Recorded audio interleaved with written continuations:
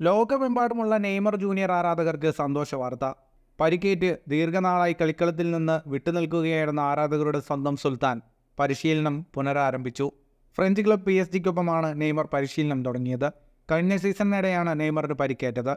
കാൽക്കുഴയ്ക്ക് ശസ്ത്രക്രിയയ്ക്ക് വിധേയനായ നെയ്മറിന് സീസണിലെ പകുതിയോളം മത്സരങ്ങൾ നഷ്ടമായി. ഇതിനിടെ പി എസ് ജി ആരാധകർ താരത്തിനെതിരെ രംഗത്തെത്തിയിരുന്നു. ഇതോടെ നെയ്മർ പി എസ് ജി വിടുമെന്ന റിപ്പോർട്ടുകളും ശക്തമായി. എന്തായാലും പ്രീ സീസൺ മത്സരങ്ങളിൽ നെയ്മർ പി എസ് ജി ടീമിലുണ്ടാവുമെന്നാണ് ഇപ്പോൾ പുറത്തുവരുന്ന റിപ്പോർട്ട്.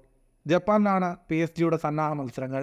ക്രിസ്ത്യാനോ റൊണാൾഡോയുടെ ക്ലബ്ബായ അൽനസാർ ഇന്റർ മിലാൻ എന്നീ ക്ലബ്ബുകൾക്കെതിരെ പി എസ് ജി സൗഹൃദ മത്സരം കളിക്കുന്നുണ്ട്.